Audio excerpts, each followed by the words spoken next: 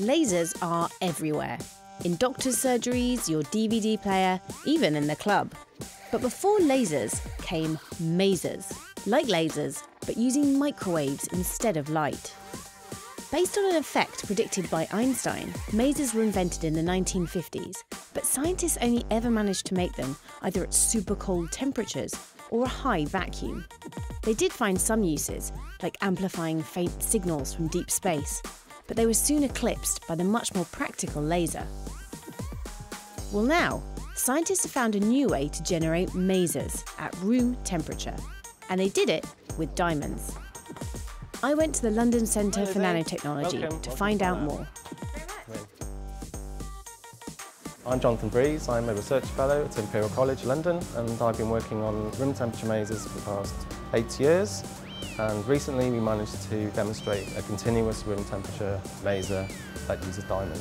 Before getting to that, though, John took me through how masers and lasers work. The maser uh, acronym and the laser acronym both stand for uh, either microwave or light amplification by stimulated emission of radiation. And in order to get stimulated emission, what you need is a population of electrons where you have two energy levels, and there are more electrons in the higher energy level than the lower energy level. This putting electrons into a higher state is called a population inversion. If you can make one of those, then the maser fun can begin. An incoming photon causes one of the electrons to drop down to a lower energy level. When it does that, it emits a photon. And not just any photon, one that's identical to the photon that just zoomed by. These then trigger more electrons to drop, releasing more photons in a chain reaction that scientists call stimulated emission. It's a sort of exponential photocopier for photons.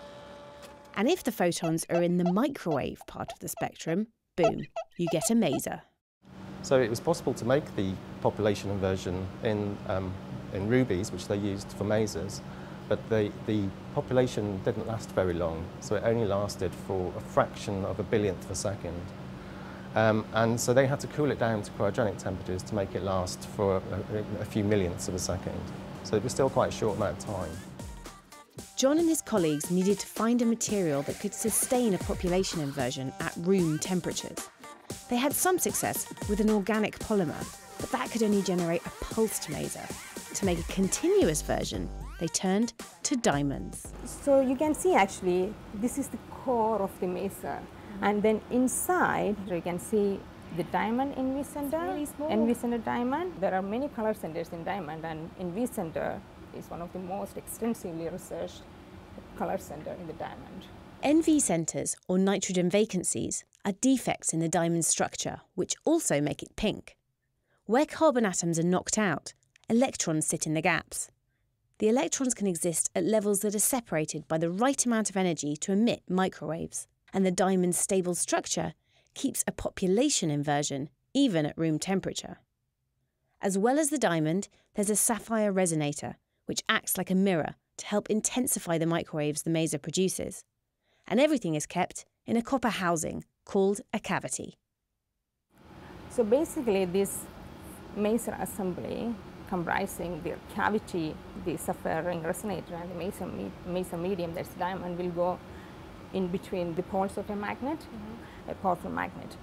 And then what we do actually, we shine a green laser.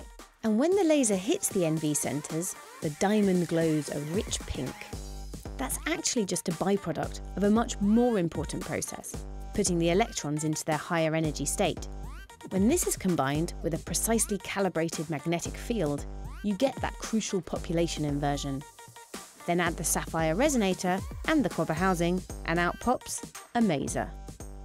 When I, we first got involved with the diamond, I did quite a bit of theory. I'm generally theory-led, so I don't want to waste my time doing an experiment that I know won't work. And all the theory pointed towards it, working. We had been trying for about a year to, to, to kind of observe this amazing phenomenon, and we'd had no, no kind of positive results. And then we saw this quirky um, phenomenon and I knew what that was and I got very excited. So the next day everyone was there. We were all excited actually, so it was a really great day. You guessed it, they'd made a maser. I had to go for a walk and calm myself down. So yeah, it was really, it wasn't a eureka moment, but it was definitely, you know, a we did it moment. Their maser is still pretty weak, but it's a proof of principle. And the fact that it uses NV centre diamonds is exciting because these are already being studied for other applications. Quantum computing, at room temperature, and also uh, what's called quantum metrology. The fact that we, we use that, um, that kind of diamond for our maser should hopefully open up uh, a new branch in the kind of quantum diamond technology.